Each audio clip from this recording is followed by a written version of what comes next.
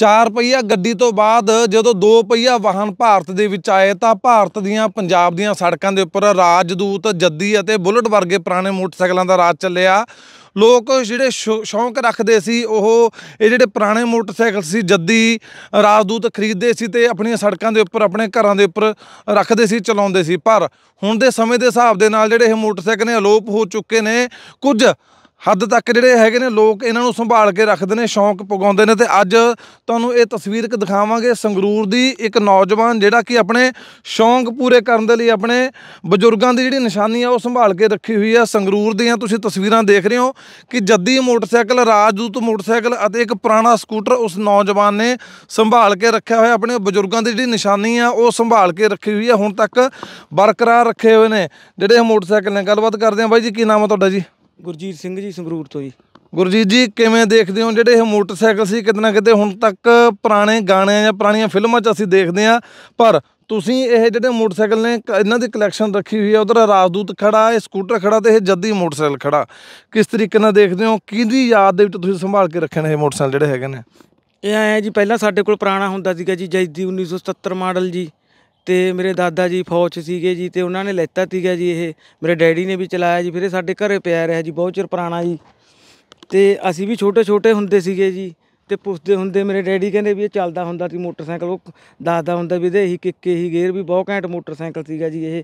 ਤਾਂ ਫਿਰ ਮੇਰੇ ਵੀ ਇੱਕ ਮਨ 'ਚ ਹੈਗਾ ਸੀਗਾ ਜੀ ਵੀ ਆਪਾਂ ਵੀ ਇਹਦੇ ਨਾਲ ਦਾ ਮੋਟਰਸਾਈਕਲ ਲਿਆ ਕੇ ਤੇ ਆਪਾਂ ਚਲਾਇਆ ਕਰਾਂਗੇ ਜੀ, ਵੀ ਜਦੋਂ ਇਹਨਾਂ ਨੇ ਚਲਾਇਆ ਹੈਗਾ। ਜਿਹੜੀ ਇਹ ਤੁਸੀਂ ਖਾਸੀਅਤ ਦੱਸ ਰਹੇ ਹੋ ਵੀ ਇਹਦੇ ਜਿਹੜਾ ਇਹ ਇਹ ਪਾਰਟ ਆ ਇਹੀ ਕਲੱਚ ਆ ਇਹੀ ਗੇਅਰ ਆ ਇਹੀ ਕਿੱਕ ਆ? ਹਾਂ ਜੀ ਇਹ ਆਪਣਾ ਹੁਣ ਤੱਕ ਕਿਸੇ ਮੋਟਰਸਾਈਕਲ 'ਚ ਨਹੀਂ ਆਇਆ ਹੈਗਾ ਜੀ। ਦੇਖ ਲਓ ਜੀ ਵੱਡੀਆਂ ਤੋਂ ਵੱਡੀਆਂ ਕੰਪਨੀਆਂ ਜੀ ਕਹਿੰਦੇ ਨੇ ਅਸੀਂ ਐਂ ਕਰਤਾ ਐਂ ਕਰਤਾ। ਤੇ ਇਹ ਬਾਹਰ ਦੀ ਇਹ ਮੋਟਰਸਾਈਕਲ ਇਹ ਬਾਹਰ ਦਾ ਜੀ ਰਸ਼ੀਆ ਦਾ ਜੀ ਆਪਣਾ। ਪਹਿਲਾਂ ਜਾਵਾ ਆਉਂਦਾ ਹੁੰਦਾ ਸੀਗਾ ਜੀ ਤੇ ਉਸ ਤੋਂ ਬਾਅਦ ਇਹ ਜੈਦੀ ਆ ਗਿਆ ਜੀ। ਤੇ ਸਿਸਟਮ ਉਹੀ ਹੈ ਜੀ ਸਾਰਾ ਸੇਮ ਹੈ ਜੀ ਇਹਨਾਂ ਦਾ ਇਹ ਚੀਜ਼ ਥੋੜੀ ਦੱਸੋਗੇ ਸਮਝਾਓਗੇ ਕਿ ਇਹ ਅਲੱਗ-ਅਲੱਗ ਇੱਕੋ ਚੀਜ਼ ਕਿਵੇਂ ਕੰਮ ਕਰਦੀ ਹੈ ਕਲੱਚ ਕਿੱਥੇ ਕੰਮ ਕਰਦਾ? ਕਿੱਕ ਕਿੱਥੇ ਕੰਮ ਕਰਦੀ ਹੈ ਤੇ ਗੇਅਰ ਕਿੱਥੇ ਕੰਮ ਕਰਦਾ? ਹਾਂ ਜੀ ਇਹਨੂੰ ਆਪਾਂ ਹੱਥ ਲਾਉਣ ਦੀ ਵੀ ਲੋੜ ਨਹੀਂ ਹੈਗੀ ਜੀ। ਇੱਥੋਂ ਆਪਾਂ ਜਦੋਂ ਅੰਦਰ ਨੂੰ ਇਹਨੂੰ ਪੁਸ਼ ਕਰਾਂਗੇ ਜੀ ਅੰਦਰ ਨੂੰ ਜਦੋਂ ਆਪਾਂ ਇਹਨੂੰ ਪੁਸ਼ ਕਰਾਂਗੇ ਜੀ ਤਾਂ ਇਹ ਪਿੱਛੇ ਨੂੰ ਰਿਆ ਕੇ ਕਿੱਕ ਬਣ ਜੂਗੀ ਜੀ। ਤੇ ਜੇ ਆਪਾਂ ਇਹਨੂੰ ਜਦੋਂ ਸਟਾਰਟ ਹੋ ਗਿਆ ਜੀ ਫਿਰ ਇਹ ਅੱਗੇ ਚੱਲ ਜੂਗੀ ਫਿਰ ਇਹਦਾ ਗੇਅਰ ਬਣ ਗਿਆ ਜੀ। ਤੇ ਕਲੱਚ ਵੀ ਇਹਦਾ ਪੈਰ 'ਚ ਹੈ ਜੀ। ਕਿਉਂਕਿ ਬਾਹਰ ਦੀ ਟੈਕਨੋਲੋਜੀ ਹੈ ਨਾ ਜੀ ਆਪਣਾ। ਇਹ ਤਿੰਨੇ ਫੰਕਸ਼ਨ ਇੱਕ ਜਗ੍ਹਾ ਤੋਂ ਕੰਮ ਕਰਦੇ। ਹਾਂ ਇੱਕ ਜਗ੍ਹਾ ਤੋਂ ਕੰਮ ਕਰਦੇ ਨੇ ਜੀ। ਭਾਈ ਜੀ ਕੰਮ ਕਰ ਕੀ ਕਰਦੇ ਹੋ ਤੁਸੀਂ?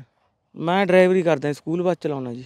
ਇਹ ਚੀਜ਼ਾਂ ਜਿਵੇਂ ਤੁਸੀਂ ਦੱਸਿਆ ਕਿ ਤੁਹਾਡੇ ਬਜ਼ੁਰਗਾਂ ਦੀ ਨਿਸ਼ਾਨੀਆਂ ਉਹਨਾਂ ਨੇ ਇੱਕ ਵਾਰ ਵੇਚਤੀਆਂ ਸੀ ਤਾਂ ਦੁਬਾਰੇ ਸੰਭਾਲਣ ਦੀ ਤੁਹਾਡੇ ਮਨ 'ਚ ਕੀ ਖਿਆਲ ਆਇਆ ਕਿ ਮੈਂ ਜਿਹੜੀਆਂ ਸਾਡੇ ਬਜ਼ੁਰਗਾਂ ਦੇ ਸਾਡੇ ਘਰੇ ਮੋਟਰਸਾਈਕਲ ਹੁੰਦਾ ਸੀ, ਮੈਂ ਦੁਬਾਰੇ ਤਿਆਰ ਕਰਿਆ, ਦੁਬਾਰੇ ਲੈ ਕੇ ਆਵਾਂ?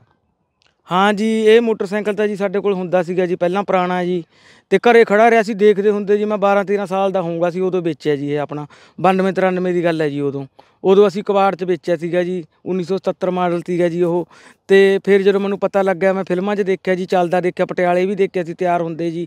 ਤੇ ਮੋਗੇ ਮੇਰੇ ਡੈਡੀ ਦੀ ਡਿਊਟੀ ਸੀ ਜੀ, ਉੱਥੇ ਮੇਰੇ ਡੈਡੀ ਕਹਿੰਦਾ ਵੀ ਇਹ ਆਪਾਂ ਨੇ ਮੋਟਰਸਾਈਕਲ ਲੈਣਾ ਹੈਗਾ। ਤੇ ਤੇ ਉਹਨਾਂ ਨੂੰ ਅਸੀਂ ਪੁੱਛਿਆ ਉਹ ਕਹਿੰਦੇ ਵੀ ਬਕਿਆਊ ਨਹੀਂ ਹੈਗਾ ਇਹ ਮੋਟਰਸਾਈਕਲ। ਤੇ ਫਿਰ ਅਸੀਂ ਕੋਸ਼ਿਸ਼ ਬਹੁਤ ਕਰੀ ਸਾਨੂੰ ਮਿਲਿਆ ਨਹੀਂ ਹੈਗਾ ਜੀ। ਤੇ ਮੇਰੇ ਡੈਡੀ ਦੀ ਡੈਥ ਹੋ ਗਈ ਜੀ ਫਿਰ। ਤੇ ਉਦੋਂ ਬਾਅਦ ਚੋਂ ਫਿਰ ਮੇਰੇ ਵੀ ਮਨ 'ਚ ਸੀਗਾ ਜੀ ਵੀ ਮੇਰੇ ਡੈਡੀ ਦੇ ਮਨ 'ਚ ਚਾਹ ਸੀਗਾ ਵੀ ਇਹ ਮੋਟਰਸਾਈਕਲ ਘੈਂਟ ਸੀਗਾ ਵੀ ਤੇ ਵੀ ਆਪਣੇ ਕੋਲ ਹੋਣਾ ਚਾਹੀਦਾ। ਤੇ ਮੇਰੇ ਡੈਡੀ ਦੀ ਯਾਦ ਦੇ ਵਿੱਚ ਵੀ ਉਹਨਾਂ ਨੇ ਬਚਪਨ ਬਤਾਇਆ ਜੀ ਇਹਦੇ ਤੇ। ਤਾਂ ਉਹਦੇ ਕਰਕੇ ਜੀ ਫਿਰ ਇਹ ਮੋਟਰਸਾਈਕਲ ਮੈਨੂੰ ਮਿਲ ਗਿਆ ਜੀ ਕਿਤੋਂ। ਲੱਭ ਗਿਆ ਜੀ ਪੁਰਾਣਾ। ਤਾਂ ਫਿਰ ਮੈਂ ਇਹਨੂੰ ਚੱਲਦਾ ਕਰਿਆ ਜੀ। ਚੱਲਦਾ ਕਿਵੇਂ ਕਰਿਆ ਤੁਸੀਂ? ਚੱਲਦਾ ਆਇਆ ਜੀ ਫਿਰ ਇਹਦਾ ਸਮਾਨ ਬਹੁਤ ਔਖਾ ਮਿਲਦਾ ਸੀਗਾ ਜੀ ਉਦੋਂ। ਤੇ ਮਿਸਤਰੀ ਤੋਂ ਤਾਂ ਇਹ ਚੱਲਦਾ ਨਹੀਂ ਹੋਇਆ ਜੀ, ਕੋਈ ਸਮਾਨ ਨਹੀਂ ਪੂਰਾ ਮਿਲਿਆ ਹੈਗਾ ਜੀ। ਉਹ ਕਹਿੰਦੇ ਵੀ ਐਂ ਚਲਾ ਚਲੂ ਲੈ, ਇਹਨੂੰ ਗੇਅਰ ਨਹੀਂ ਇਹਦੇ ਨਿਊਟਰਲ ਹੁੰਦੇ ਸੀਗੇ ਜੀ। ਸਹੀ ਚੱਲਦਾ ਨਹੀਂ, ਫਿਰ ਮੈਂ ਘਰੇ ਖੜਿਆ ਲਿਆ ਜੀ ਸਾਰਾ। ਫਿਰ ਮੈਨੂੰ ਪਟਿਆਲੇ ਦੱਸਿਆ ਜੀ ਵੀ ਉੱਥੇ ਇੱਕ ਸਰਜੀਤ ਆਟੋ ਜੋ ਮੋਬਾਈਲ ਦੁਕਾਨ ਹੈ ਜੀ ਆਪਣੇ ਪਟਿਆਲੇ ਪੁਰਾਣੀ। ਉਹਨਾਂ ਕੋਲ ਏਜੰਸੀ ਹੁੰਦੀ ਸੀ ਜੀ ਪਹਿਲਾਂ ਇਹਨਾਂ ਮੋਟਰਸਾਈਕਲਾਂ ਦੀ। ਉਹਨਾਂ ਕੋਲ ਘਰੇ ਸਮਾਨ ਬਹੁਤ ਪਿਆ ਸੀਗਾ ਜੀ ਸਪੇਅਰ ਓਰੀਜਨਲ ਜੀ ਇਹਨਾਂ ਦਾ। ਓਰੀਜਨਲ ਸਮਾਨ ਪਾਇਆ ਜੀ ਇਹ ਚ ਮੋਟਰਸਾਈਕਲ ਚ। ਆਪ ਕਰਿਆ ਤੁਸੀਂ ਸਾਰਾ ਕੁਝ ਹਾਂ ਜੀ ਫਿਰ ਜਦੋਂ ਮੈਨੂੰ ਪਤਾ ਲੱਗ ਗਿਆ ਜੀ ਮੈਂ ਦੇਖ ਕੇ YouTube ਤੇ ਵੀ ਮੈਂ ਦੇਖਿਆ ਵੀ ਇਹਦੇ ਗੇਅਰ ਕਿਉਂ ਨਹੀਂ ਨਿਊਟਰਲ ਹੁੰਦੇ ਇਹਦੇ ਕਿੱਥੇ ਪ੍ਰੋਬਲਮ ਹੈਗੇ ਜੀ। ਸਾਰਾ ਮੈਂ ਖੋਲ ਕੇ ਜੀ ਇਹ 10 15 ਦਿਨ ਮੈਂ ਲੱਗਿਆ ਰਿਹਾ ਜੀ। ਤੇ ਫਿਰ ਮੈਂ ਇਹਨੂੰ ਸਾਰਾ ਕਰੇ ਖੋਲ ਲਾਂ ਜੇ ਸੈੱਟ ਨਾ ਆਵੇ ਮੈਂ ਫਿਰ ਖੋਲ ਲਾਂ ਇਹਨੂੰ।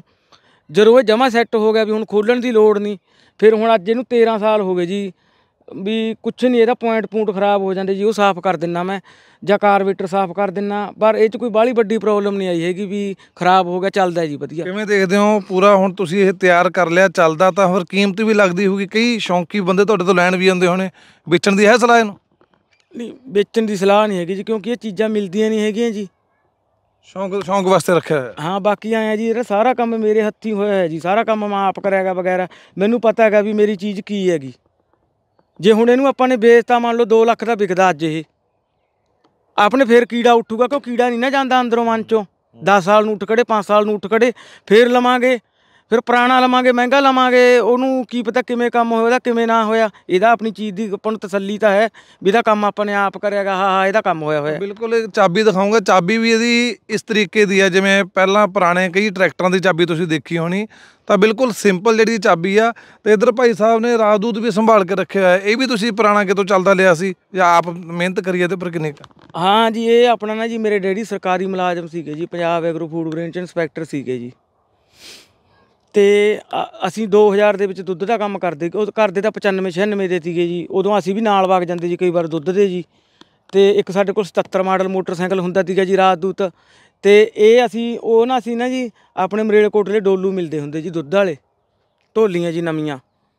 ਮੇਰਾ ਡੈਡੀ ਮੈਨੂੰ ਤੇ ਮੇਰੇ ਭਾਈ ਨੂੰ ਸਾਨੂੰ ਦੋਨਾਂ ਨੂੰ ਨਾਲ ਲੈ ਗਿਆ ਕਹਿੰਦਾ ਵੀ ਦੁੱਧ ਦਾ ਕੰਮ ਬਹੁਤ ਚੱਲਿਆ ਜੀ ਸਾਡਾ ਬਹੁਤ ਤਰੱਕੀ ਹੋਈ ਮਿਹਨਤ ਵੀ ਬਹੁਤ ਇਹਦੇ ਪਰ ਕੀਤਾ ਫਿਰ ਕੰਮ ਮੈਂ ਤੁਹਾਨੂੰ ਦੱਸਦਾ ਜੀ ਜਿਹੜਾ 77 ਮਾਡਲ ਮੋਟਰਸਾਈਕਲ ਸੀਗਾ ਸਾਡੇ ਕੋਲ ਪੁਰਾਣਾ ਉਹ ਨਾ ਜੀ ਧੂਰੀ ਤੋਂ ਪਰੇ ਜਾ ਕੇ ਉਹਦਾ ਇੰਜਨ ਸੀਜ ਹੋ ਗਿਆ ਰਸਤੇ ਦੇ ਵਿੱਚ।